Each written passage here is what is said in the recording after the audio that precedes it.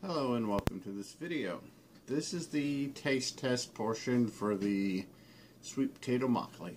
Um, in this taste test, I'm going to do it at full strength. I'm not going to water it down, but I'm going to do a unsweetened and a sweetened version just to see what the difference is. Um, I don't know if I'll come back and do a watered down version. I haven't in my other makgeolli videos, but never know. Um, so, my finished product, I got about one gallon, a little over one gallon. Um, as you can see, it is separated. I've got my the Tongju is on the bottom, and the Shangju, I hope I'm pronouncing it correctly, on the top. Um, I don't know if you can see it or not, but you've got in the bottom, you've got a mixture of the rice and the sweet potato. It looks kind of cool. So, what we'll do is set this down. Um, yeah, it, it it came out. It smells it smells wonderful. It's got a really wonderful aroma to it, but I digress. So let's go ahead and mix this up and get it all mixed together.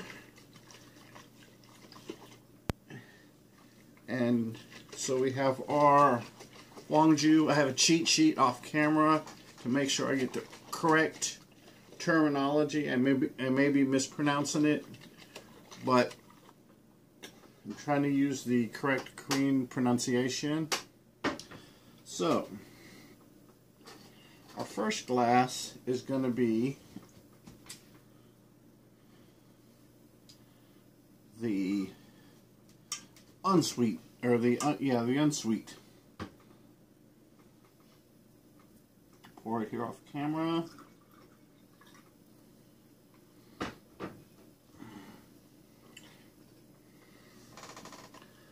There we go, close up of the glass. Like I said, it smells wonderful. It has, has kind of a sweet smell to it. Um, has a very fruity smell. Believe it or not, for some reason, it does have a fruity smell. Even though it's potatoes, brown sugar, and rice. It's a very wonderful, very wonderful aroma to it.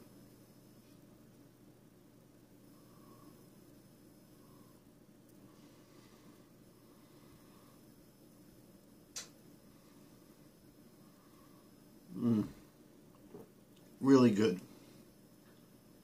Wow, really good. Um, lots and lots of alcohol in this. Um, Jack Daniels or Jim Beam did a sweet potato flavored whiskey. I'm betting it would be it would, the alcohol content would be really close to what this is. Begin to drool on myself a little bit, but wow, that is good. Um, it's got it. This is this is 20, at least 20 percent, if not more, um, alcohol by volume. Uh, this is wow. This is good. Nice high alcohol. What's amazing is the alcohol content is as high as it is. It's not completely dry. It's got some sweetness to it. You can taste the sweet potato in there.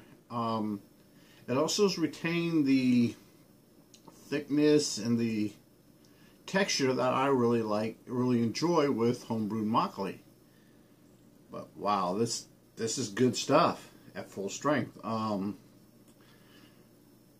I think it would be a shame to water it down, but that's just me. Um, I might come back in a later video and do it just because acquiring minds want to know.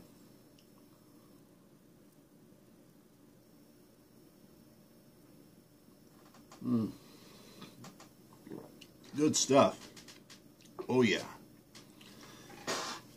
Now we're going to take our second glass and I'm going to put my sweetener of choice, stevia. You can use sugar, you can use aspartame, you can use whatever sweetener blows your hair back. Um, go for it. Knock yourselves out. Um, my sweetener of choice is stevia. So, I've got this cute little bowl I picked up at the uh, Asian market. And I've got, it's got this little spoon. I'm going to put two of these spoons in. Off camera, but two.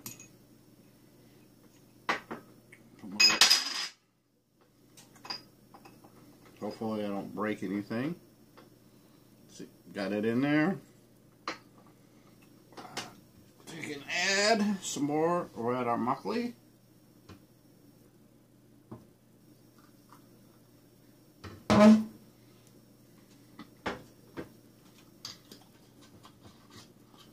Take and we'll stir it real quick.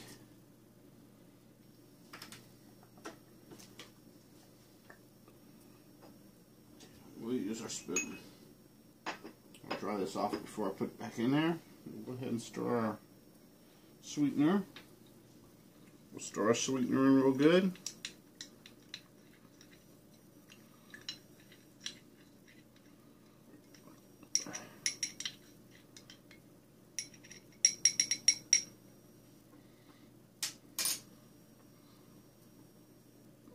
Excuse me, got a burp there. The still the same, still very, very nice on the nose.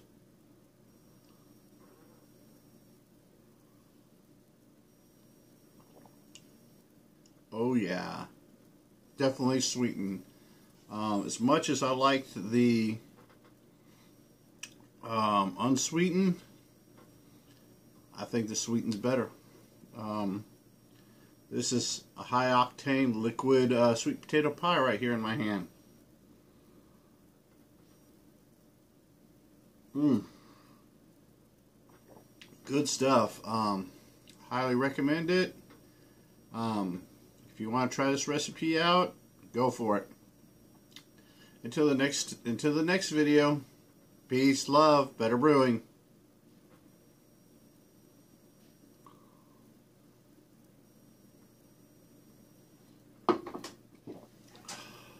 Good stuff.